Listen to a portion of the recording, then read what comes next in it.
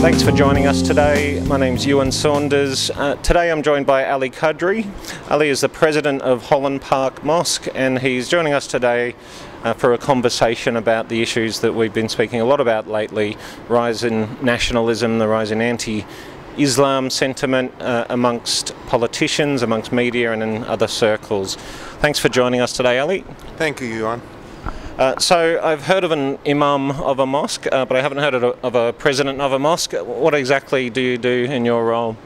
Well, it's not as good as being a president of the United States for sure, but uh, president of mosque is uh, president of the association, which basically owns the property and uh, does all day-to-day -day management of the mosque. So uh, I'm basically elected president of the incorporated association, which owns and manages the mosque. Okay, cool. And um, how would you describe your role in the Muslim community in broader terms? Because I, I, I know you don't just do things associated with the mosque. You, uh, you you're very much uh, in the media uh, a, a, fair bit. Uh, how would you describe your role in relation to the Muslim community and the broader Australian community? I think that uh, the role of a president traditionally has has been different to what's been happening recently, and that's mainly because of the current political and um, I guess uh, international political climate in the world. And um, you know, traditionally, a um, um, president of the mosque would only be bothered with the mosque and day-to-day -day management, but nowadays it's more about communicating with the other community, uh, you know, talking to media, uh, opening the doors of the mosque, and doing much more social and I guess political role than uh, just a traditional president role. So it has changed dramatically and that's in response to the, uh, the issues which we face currently. So, um, if I only got my information from mainstream media sources, I, I think I'd probably have the impression that Muslims are a fairly homogenous lot, um, fairly conservative, adhering to strict religious rules. Uh, the impression is uh, of a, like I said, a very homogenous uh, group of people and community across the country. First of all, how big is Australia's Muslim community, and and how accurate are those sorts of stereotypes? Look, there are about half a million Muslims in Australia, and um, uh, those stereotypes are completely incorrect because Muslim community is very diverse. I guess it's as diverse as Australia itself. I mean, you know, Muslims come from uh, different, uh, I guess, political setups, different social and cultural sort of setups. And uh, as far as conservatism is concerned, uh, you know, that varies as well from different, I guess, ethnic groups, different cultural groups, and uh, different experiences and different generations. So, you know, you traditionally find people coming from a certain area being more conservative in their interpretation of Islam compared to others and uh, that also varies across the board from the generation to generation. So you know, your first generation would be a little more conservative than the second and third, and so on and so forth. So it's a very diverse group, and and and you know, to assume that Muslims are homogeneous is is, is completely wrong. It's incorrect.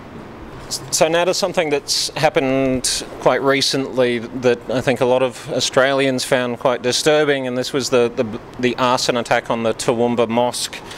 Um, could you tell me a little bit about that? What kind of impact it had on the Muslim community and, and what was the response of the broader community as well? Look, uh, Muslim community as a whole right now feels under siege. I mean, you know, the political rhetoric, the media, the newspapers, every day, every hour somebody is speaking about Muslims. And for such a small minority uh, in, in a country of 23 million, so much political attention, so much media attention creates a sense of, you know, sort of siege mentality. So there is that fear in the Muslim community, and that gets topped up by events like attack on the mosque and mosque being burned down. So that just, you know, reinstates the, the view in uh, a lot of Muslims that, uh, you know, we are not a full citizen of this country, we are targeted, we are a, and, and a feeling of being a persecuted sort of minority in the country. Now, the wider community, yes, you know, there are people who are who understand that uh, there's a lot of politics behind uh, all this rhetoric, and uh, they do come out and support uh, the community. Unfortunately, they, their voice is not as louder as uh, right-wing extremists or our media and politicians. So, um, Tony Abbott recently came out in his national security statement saying that Muslim leaders needed to condemn terrorism, condemn extremism, and mean it. Um, So, given that Muslim leaders have actually been some of the most vocal in, in condemning religious extremism, uh, what do you think was really behind the Prime Minister's comments? Oh, once again, the political rhetoric, dog whistle politics. You know, he wants to attract the votes from the right wing extremists. Right wing extremists like to hear these kind of rhetoric from the politicians, and uh, he's just buying into it. I mean, the whole idea of um, cancelling citizenships is basically legalizing the right-wing rhetoric of go back where you came from. So, you know, Prime Minister is just playing dog whistle politics, nothing else.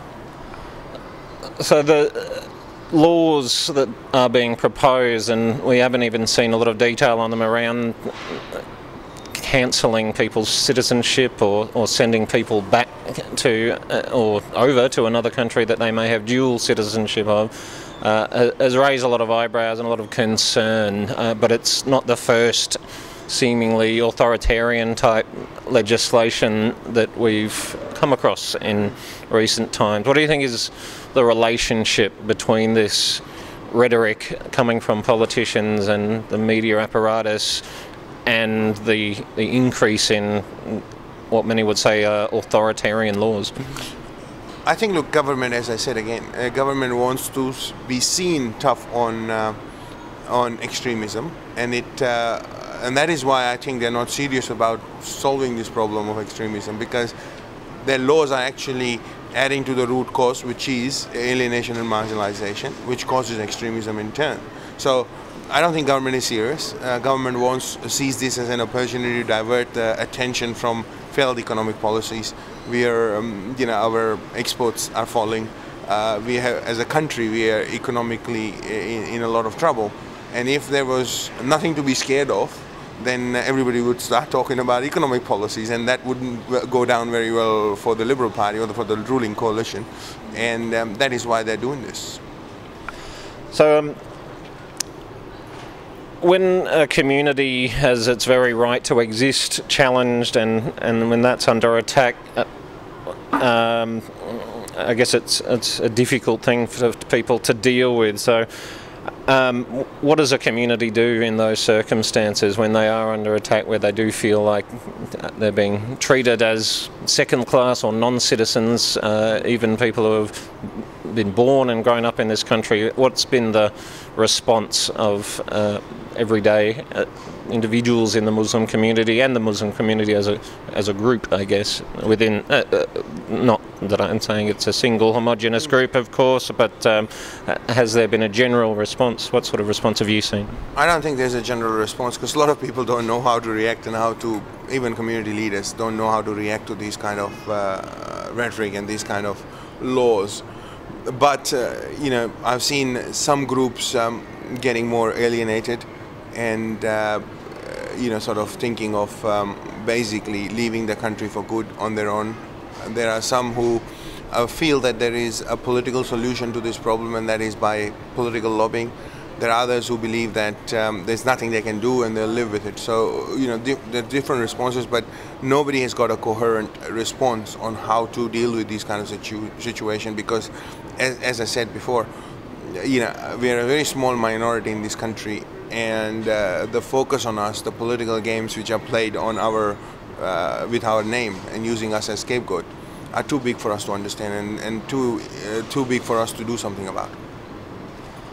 So, Reclaim Australia. So, from what I've been able to gather, the people behind it are uh, far right wing micro parties, uh, neo Nazi organisations, even, and even bizarrely, I think that the far right of uh, Christian churches, in particular the, the Catch the Fire ministries, have had their own share of controversy. Um, what do you know about Reclaim Australia? Well, uh, to me, they're all, uh, I guess, uh, once again, a diverse group of haters united on, a, on, on one cause, using Muslims as scapegoat to push their ideas, which basically are very much against the the liberal, I guess, ideology or, or democratic values of Australia. And uh, they are once again using the fear there is out there, created by the media and political rhetoric, to push their own agendas. So uh, that's where they are coming from. And, uh, you know, I, I, hope they don't get more traction than they've got because uh, they, like any other extremists, are very dangerous for a free society. So now that groups like Reclaim Australia have gained the confidence to organise publicly, to have rallies and so on, uh, what do you think? uh, I guess what do you have to say to um, listeners and viewers about what we as a community ought to be doing? And I'm, I'm sure everyone's got their own ideas, but what are yours? I think it's as simple as communicating and getting yourself educated. I mean, you know, if you are uh, afraid of something, the best thing to do is to actually find out more about it, whether you should be afraid or not. And uh, I think living in fear is not a good idea. And by getting afraid and threatening others, we are actually creating a society which is very dark and sad for its citizens. So the solution is simple, is to communicate and talk to each other. Ali Kadri, thanks for joining us. Thanks, Ewan. Thanks, man. And thank you. We'll see you on next week's program.